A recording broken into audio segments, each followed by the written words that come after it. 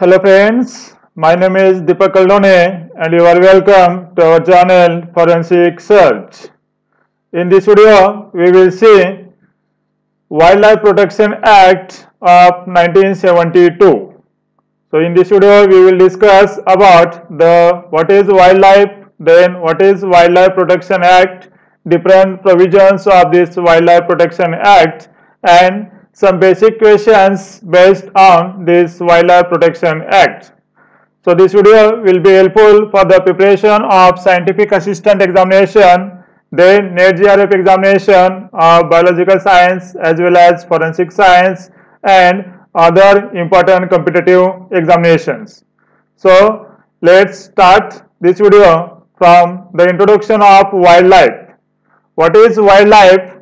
Generally, wildlife means any non-domesticated animal or plant found wild in nature.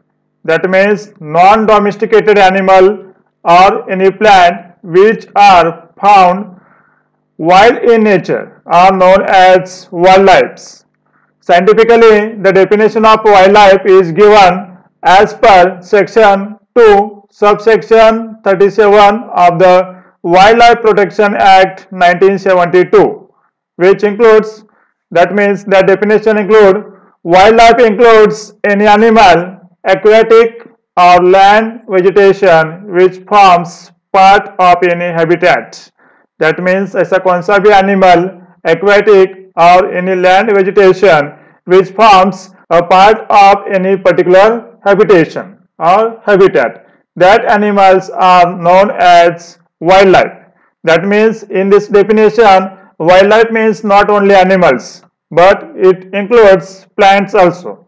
So this is the definition of wildlife according to section 2 subsection 37 of Wildlife Protection Act. Now see India has forest policy since 1894 and it was revised in 1952, 1988 and again in 2018. What is the aim of this Wildlife Protection Act? This Wildlife Protection Act was enacted for the safeguard and protection of the wildlife that is flora and fauna in the country. The Indian Parliament enacted the Wildlife Protection Act in 1972 and this act was enacted on 9 September 1972. This act is applicable throughout India. Latest amendments in this act was done in the year 2013 and 2006 which provides stringent punishment for hunting of scheduled animals. So for the prevention of this hunting of scheduled animals and for the safeguards and the protection of wildlife that is plants and animals this Indian government enacted this Wildlife Protection Act on 9 September 1972. They say what is the need for the Wildlife Protection Act? Basically, day by day wildlife crimes are increasing tremendously and that causes a drastic decrease in the flora and fauna which disturbs the ecological balance and affecting many aspects of climate and the ecosystem as well as for the effective control of poaching and illegal trade in wildlife and its derivatives. And most important is the need of our is to save our precious wildlife and forest to maintain ecological balance. That's why this is the need for the Wildlife Protection Act. Now see what are the wildlife crimes? Basically wildlife crimes can be defined as taking, possession, trade or movement, processing, consumption of wild animals and plants or their derivatives in contravention of any international, national or regional legislation. All these constitutes the wildlife crimes. Basically, whenever the poacher kill the wildlife animals, they take out some organs such as hair, skin, claws, ivory, horns, bones, etc. As well as certain plants are there the illegal transaction of that plants is also done. So these are the some important wildlife crimes. Then National Board for Wildlife to promote the conservation and development of wildlife and forests, the National Board for Wildlife was constituted as a statutory organization under the provisions of Wildlife Protection Act. And basically, the chairperson of this National Board of Wildlife is Prime Minister and the vice chairperson of this board is Minister in charge of Forest and Wildlife. Similarly, in the states, it is a state board for wildlife. And the jurisdiction of this board is in a particular state. And chairperson of this state board for wildlife is the chief minister of that concerned state.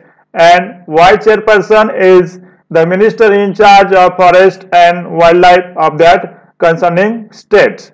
So this national board for wildlife as well as state board for wildlife are established to promote the conservation and development of wildlife and forests. Then according to this Wildlife Protection Act, there are some provisions. For example, the constitution of Central Zoo Authority. It is constituted under the section 38A of Wildlife Protection Act as well as constitution of National Tiger Conservation Authority will be constituted under section 38L of Wildlife Protection Act. And most important is constitution of tiger and other endangered species crime control bureau will be constituted under section 38Y of this Wildlife Protection Act. According to this constitution and some other legislation in our India, Project Tiger was initiated in the year 1973 for the conservation of this tiger and other endangered species. Similarly, lots of project was initiated by the government of India for the conservation and for the protection of precious wildlife. Now say Wildlife Protection Act 1972. Basically, this act created six important schedules. Now say what are these schedules? Schedule first covers endangered species.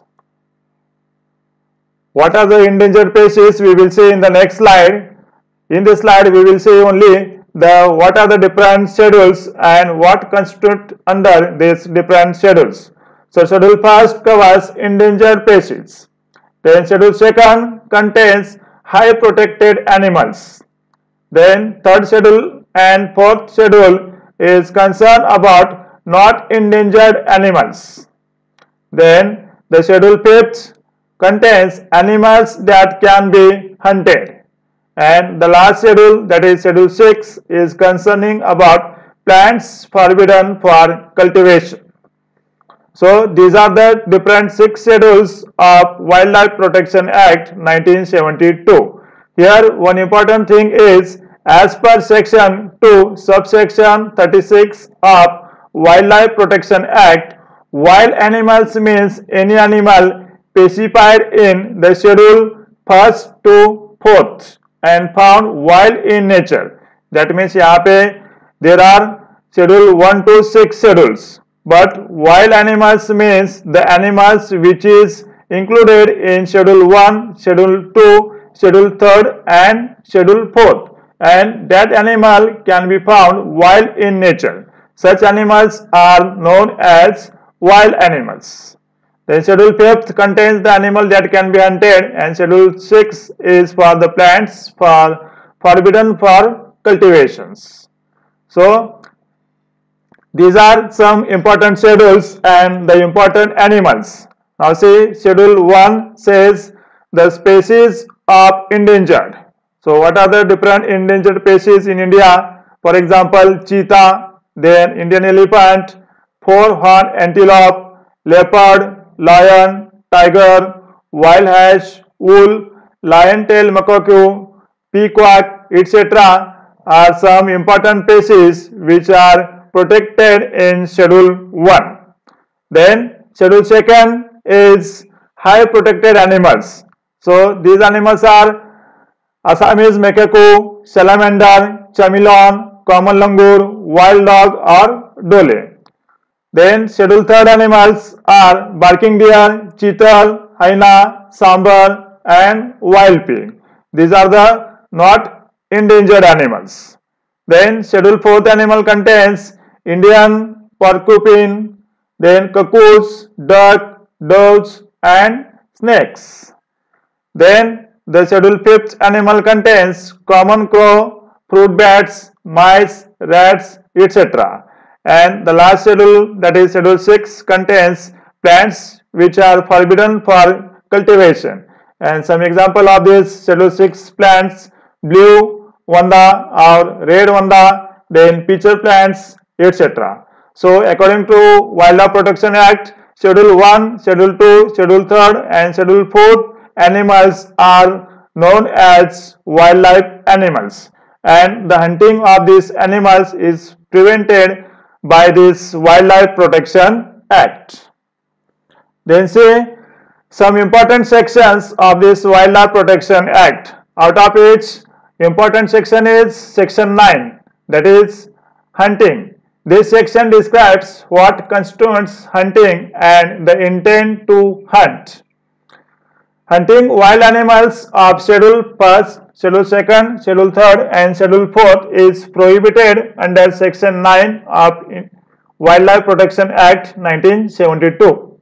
Then the next important section is Section 17C that is the cultivation of specified plants without license prohibited. In India there are some plants which cannot be cultivated without the license. So these plants are mentioned under section 17C of Wildlife Protection Act. Then next one is section 27 restrict any entry in sanctuary. There are in India some preserved area that is sanctuary then national parks etc. So this section 27 restricts any person in such sanctuaries. Then next section is section 30 that deals with causing fire in a sanctuary is prohibited by this section 30. Then next important section is ownership that is section 40 and 42. This section deals with regarding ownership issues and trade licenses. For example, suppose any area or any plant is taken by any person that is known as ownership and this ownership will be not transferred to another party also regarding issues to trade license. So this section 40 and 42 deals with the ownership and the transfer of this ownership.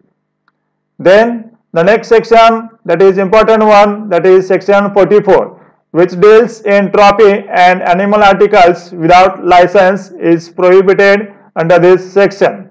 There are some wildlife articles or wildlife trophies. These articles or trophies are prohibited under section 44 of this Wildlife Protection Act. Then the important section is deals with the penalties for wildlife crimes. This section that is under this section enforcement can be performed by agencies such as the forest department, of particular state or central, then Wildlife Crime Control Bureau, then Custom Departments and the Central Bureau of Investigation that is CBI. Such enforcements are dealing with the wildlife crimes. And what are the punishment for these crimes? So there is a provision of punishment that is from minimum 3 years imprisonment to maximum imprisonment of 7 years and the maximum fine up to 25,000 or both. And by latest amendment, the maximum fine will be up to 25 lakh. So, in any wildlife crime, the provision of punishment is from 3 years to 7 years imprisonment and fine from 25,000 to 25 lakh or both that is fine and imprisonment is there for the wildlife crimes. So these are the some important sections of Wildlife Protection Act 1972. Then what are the constitutional provisions for the wildlife? In India or in our constitution, is there any constitutional provision for uh, wildlife? So the answer of this question is, so see what are the some constitutional provision out of which Article 48A of Indian Constitution that is directive principles of state policy directs the state to protect and improve the environment and the safeguards of wildlife and forests. So this is one of the most important article in our Indian Constitution. Then next article is Article 51A of Indian Constitution that is the fundamental duties. It shall be a duty of every citizen of India to protect and improve the natural environment including forests, lakes, rivers and wildlife to have compassion for living creatures. So it is the duty of every citizen of India to protect our precious wildlife and other forests, lakes, rivers. So these are the some important provisions for the wildlife in our constitution of India. Now see some important questions based on this Wildlife Protection Act 1972. The first question is in India Wildlife Protection Act was enacted on option A 22nd April 1972 option B 21st March 1972 Option C 5th June 1972 and option D is 9th September 1972. Basically all these dates are concerning with forest, environment or wildlife out of which the correct answer of this question that is in India the Wildlife Protection Act was enacted on 9th September 1972. 22nd April is celebrated as Earth Day then 5th June is celebrated at celebrated as Environment Day. Then the next question is definition of wildlife is given in dash dash section of Wildlife Protection Act 1972. Options A is section 1 subsection 37, option B section 2 subsection 37, option C section 3 subsection 37 and option D section 4 subsection 37. So the correct answer of this question is option B that is definition of wildlife is given in section 2 subsection 37 of Wildlife Protection Act. Then the next question is in India the chairperson of National Board for Wildlife is option A Prime Minister, option B Finance Minister, option C Forest and Wildlife Minister and option D environment minister. So the correct answer of this question is not option C that is forest and wildlife minister. Instead of it the correct answer of this question is option A that is the prime minister is the chairperson of national board for wildlife and the vice chairperson is the forest and wildlife minister. Then the next question is National Tiger Conservation Authority is constituted under dash dash section of Wildlife Protection Act. Option A 33L, option B 25M, option C 38L and option D 40L. So the correct answer of this question is option C that is under section 38L the National Tiger Conservation Authority is constituted. Then the next question, how many schedules are there in Wildlife Protection Act 1972? Option A 5, option B 6, option C 7 and option D 10. So correct answer of this question is option B that is in Wildlife Protection Act there are 6 schedules. The next question is endangered species are placed in dash dash schedules of Wildlife Protection Act 1972. Option A, Schedule 1, Option B, Schedule 2nd, option C schedule 3rd and option D schedule 4. So the correct answer of this question is option A that is first schedule contains the endangered species. Then next question is as per section 2 subsection 36 of Wildlife Protection Act wild animals means any animal specified in schedules dash dash dash which found wild in nature. Option A schedule 1 to schedule 6 option B schedule 1 to schedule 4 option C schedule 2nd to schedule 6 and option D schedule 3rd to schedule 6. So the correct answer of this question is option B that is schedule 1 to schedule 4 animals are known as wild animals. The next question is according to Wildlife Protection Act 1972 hunting wild animals is prohibited under dash dash section of this law. Option A section 9 option B section 13 option B section 17 and option D section 30. So the correct answer of this question is option A that is under section 9 the hunting of animals is prohibited under section 9 of Wildlife Protection Act. The next question is in India enforcement agencies dealing with wildlife crimes is or are? Option A Forest Department. Option B Wildlife Crime Control Bureau that is WCCB then option C, Central Bureau of Investigation that is CBI and option D, all of the above. So the correct answer of this question is all of the above. In India, Forest Department, Wildlife Crime Control Bureau as well as CBI are dealing with wildlife crimes. The next question is, high protected animals are placed in dash dash schedules of Wildlife Protection Act 1972. Option A first schedule, option B second schedule, option C third schedule and option D fourth schedule.